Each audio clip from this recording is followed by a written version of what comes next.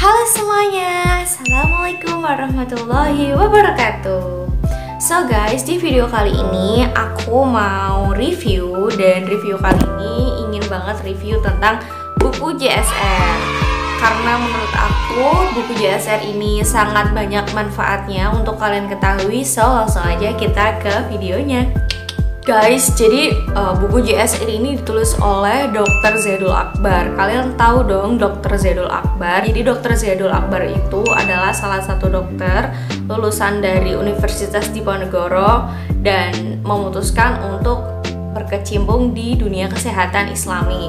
Di mana beliau ini salah satu orang yang menekankan untuk kita bisa berobat sesuai dengan um, sunnah-sunnahnya Rasulullah SAW dan hal itu juga yang menyebabkan beliau itu menuliskan buku ini nih buku Juru Sehat Rasulullah dan kalau misalnya kita bahas lebih dalam lagi buku Juru Sehat Rasulullah ini tidak hanya ditulis untuk memberikan edukasi tentang pengobatan ala Rasulullah. Namun juga di buku ini memberikan peningkatan iman kita kepada Allah Subhanahu wa taala. Jadi langsung aja kita buka per per ini ya, per bagiannya. Nah, ketika kita buka itu akan ada ini warna hijau, terus ya biasa ada covernya. Langsung aja ini ada kayak tahun terbit, terus uh, editor dan ini bagus banget untuk prakata pertamanya itu. Intinya gini, aku telah tinggalkan pada kamu dua perkara. Kamu tidak akan sesat selama berpegang kepada keduanya yaitu kitab Allah dan sunnah rasulnya. Jadi di daftar isi itu ada subbabnya dan beberapa anak dari subbab aku bisa bilang ini uh, bababnya jadi ada subbabnya dulu baru dijelasin babnya yang aku suka itu uh, dia in detail banget. Kayak misalnya kita bahas tentang masalah kesehatan kita saat ini. Jadi dokter Zaidul Akbar itu benar-benar menuliskan dari uh, akarnya kenapa sih uh, kita ada gangguan di kesehatan kita terus apa aja yang mengganggu kemudian bagaimana cara mengatasinya. Beliau benar-benar rinci dan juga beliau menuliskan kayak produk olahan itu apa saja, terus kebaikan-kebaikan kebaikan-kebaikan dari susu, daging-dagingan, terus banyak deh udang, alpukat dan produk-produk Allah lainnya beliau langsung paparin di subab yang masalah kesehatan kita saat ini. Ada lagi nih subab jurus menyehatkan kolbu ala Rasulullah. Jadi jurus menyehatkan kolbu ala Rasulullah ini menuntut kita untuk membuka pikiran kita bahwasanya hal-hal negatif yang sering kita khawatirkan itu harus kita hindari. Itu kita harus jauhi hal-hal yang membuat kita tuh down. Karena salah satu hal yang membuat kita down itu bisa membuat kita memiliki uh, nafsu makan gak enak, kemudian bisa membuat kita sakit gitu. Karena pikiran-pikiran kita yang terlalu negatif gitu. Terus di sini juga akan dijelaskan tentang beribadah dengan benar perbanyaklah bersujud, dahsyatnya subuh dan bangun pagi. Itu semua benar-benar detail dijelasin dan akhirnya bisa membuat kita tuh melek gitu. Bahwasanya Allah tuh sudah mengatur sedemikian rupa hal-hal yang membuat kita itu baik gitu.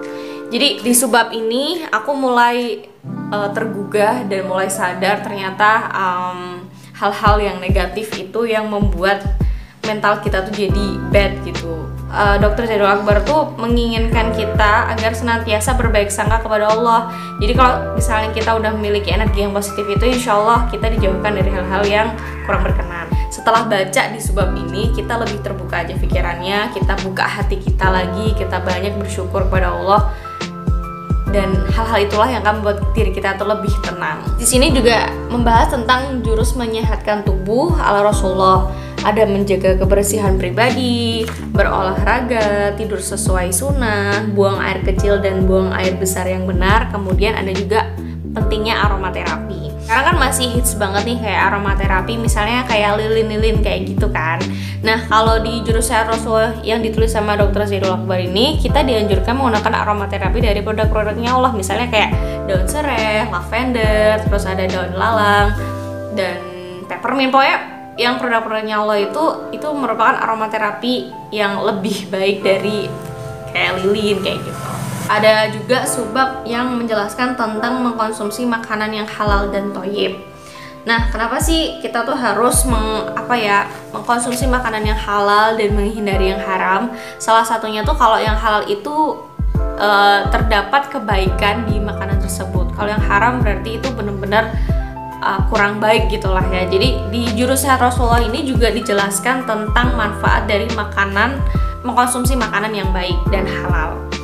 Dan kemudian ini ada contoh-contoh produk produk-produk yang halal dan toyib terus terus uh, diajarin juga diet ala Rasulullah dan memakan makanan penghuni surga seperti itu pokoknya uh, ini tuh in detail banget dan aku aku suka banget isinya uh, langsung aja ya kita ke sebab sebab selanjutnya.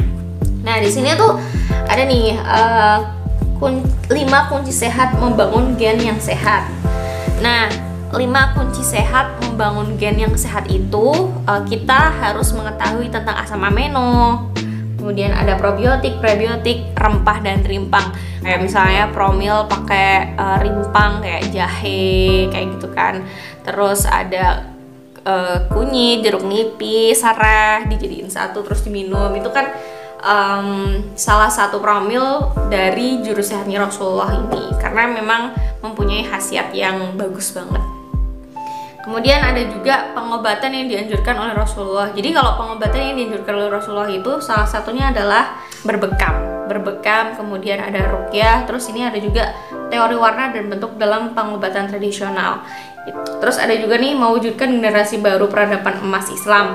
Kalau di sini dijelasin tentang uh, epigenetik dan lahirnya generasi Islam emas, terus hal-hal yang menyangkut apa ya generasi emas yang sesuai dengan sunnahnya Rasul itu kayak selalu mengerjakan hal-hal yang baik aku recommended banget buku ini karena ini salah satu buku yang must have kalian baca must have kalian punya must have must have to read and must have to have gitu ya. Karena bener-bener detail dan dijelasin kebaikan-kebaikan yang membuat kalian itu melek akan kesehatan. So nggak um, kerasa udah 10 menit aku ngomong-ngomong kayak gitu ya. Situ aja dulu dan semoga bermanfaat review bukunya. Kalian bisa beli bukunya di jrsstore.id atau uh, klik link aja yang ada di bio aku. So guys see you. Bye bye and wassalamualaikum warahmatullahi wabarakatuh